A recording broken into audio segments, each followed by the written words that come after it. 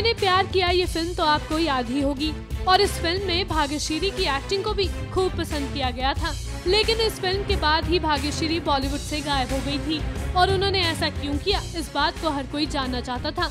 क्योंकि बॉलीवुड में इतनी जल्दी अपनी पहचान बनाना और वो बनने के बाद उससे दूर हो जाना वाकई चौंकाने वाली बात है। तो चलिए आज हम आपको बताते हैं कि सलमान की ये हीरोइन बॉलीवुड से गायब क्यों हुई।